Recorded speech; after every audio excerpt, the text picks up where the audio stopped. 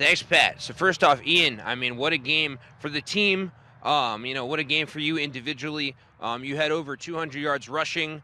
Um, you know, we saw you scoring touchdowns. Um, you know, moving your feet in the open field, running over defensive players. Um, what was your mindset tonight?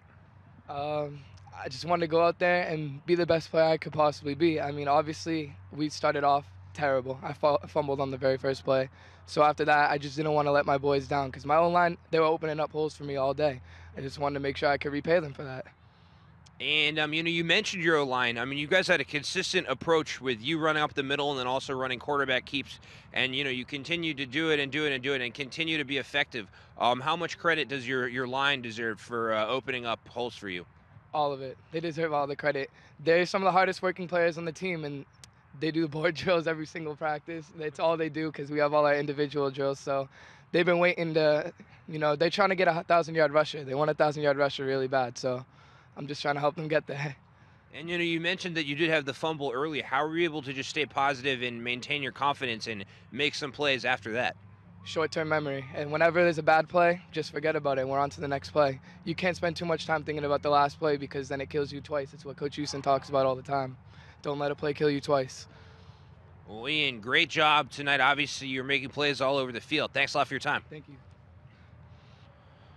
All right, so coach, first off, um, you know, just coming off the win, um, what's your initial reaction?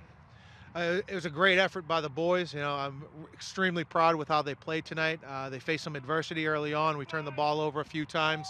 You know, they came back in the second half and they, they finished really strong. And um, you know, what can you say about Ian's individual performance? Obviously, you just talked to him a second ago. Um, you know, what can you say about the way he played today? Uh, Ian's been awesome. He's been a starting running back for three years. You know, he continues to grow and get better with every game, every carry. You know, uh, after he fumbled the first play on offense, you know, I, I just told him, hey, forget about it. Next play, you know, can't let that can't let that hurt us the rest of the game. And, and he bounced back really quickly um, and had a heck of a game tonight for us.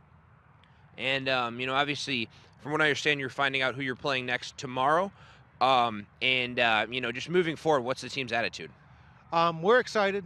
You know, we'll we'll enjoy this for the next 24 hours. Once we find out whether we're going to be playing Greater Lawrence or St. Mary's, you know, we'll get back to work. You know, we get a lot of work um, with them playing on a Saturday, a little short week, kind of having not as much time to prepare and get everything ready for Monday's practice, but we'll get after it like we always do. We'll have a great week of preparation and, and we'll give it our best effort come next week.